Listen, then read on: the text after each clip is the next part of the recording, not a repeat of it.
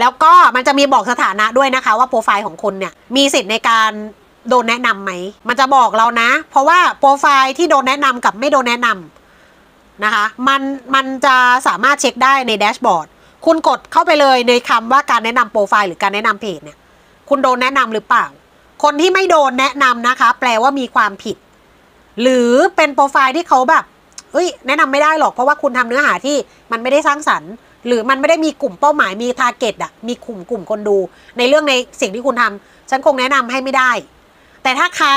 ขึ้นว่าเนโปรไฟล์อะมันแนะนำได้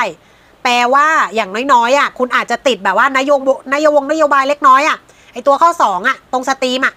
มันจะยังไม่ผ่านกันมันขึ้นเทากันหมดเยอะมากอะก็ไม่เป็นไร ก็ก็ทำให้มันแบบต่อเนื่องนะคะ แต่ถ้าใครไม่ไหวก็พักโปรไฟล์แล้วไปทำเพจ เพราะเพจมันผ่านง่ายกว่าบอกเลยฉะนั้นไอ้เรื่องเรื่องพื้นฐานอะเช่น dashboard มืออาชีพอะมันต้องเรียน อย่างน้อยๆอะเรียนฟรีเรียนฟรีก็อยากจะเอาเรื่องนี้แหละมาสอนนะในในในส่วนของ Facebook 2024 นะคะ สอนฟรีเรื่องอะไรเนาะการดู dashboard เนี่ย ดูไม่เป็นอะมันทำให้เราแบบเครียด แค่แค่การเข้าถึงแค่การมีส่วนร่วมไอ้ตรงที่มันเป็นประสิทธิภาพอะแต่ก่อนยังมีไม่ยังมีคนดูไม่เป็นเลยว่า จริงๆแล้วเราดูเพื่ออะไร แล้วบางคนบอกว่าติดแดง ติดแดงคือตัวเองเนี่ยติดลบแดงตรงเนี้ย จะทำยังไงให้มันเขียวตลอดคือยังไม่เข้าใจองค์รวมนะ ตรงนี้ก็จะสอนให้ในส่วนของข้อมูลฟรีนะคะ สมมุติว่าเราเราทำเพจแล้วเราอยากผ่าน stream ถูกไหมฮะเราอยากผ่าน stream เนี่ยแล้ว stream มีกี่ข้อ stream มีทั้งหมด 5 ข้อ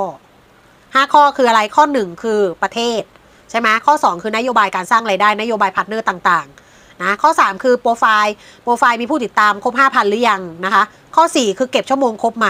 ข้อ 5 ภายใน 30 วัน คุณเนี่ยทำโพสต์ไปครบ 5 โพสต์หรือเปล่า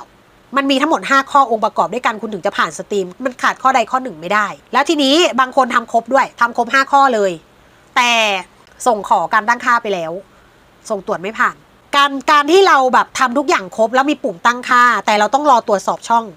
บางคนไม่ผ่าน เหตุผลที่ไม่ผ่านคือ มันมีสิ่งที่เขาไม่ได้อนุญาตให้ทำอยู่ในเพจของเราอยู่ในโปรไฟล์ของเรา แล้วเขาตรวจเจอ แต่เขาจะไม่บอกเราว่าโพสต์ไหน ถ้าบอกก็หวานสิจ๊ะ ถ้าบอกก็ง่ายสิจ๊ะ เขาไม่บอกเรา ฉะนั้นตัวเราเองต้องกลับมาลื้อดูว่า เอ๊ะ มีอะไรผิดปกติหรือเปล่า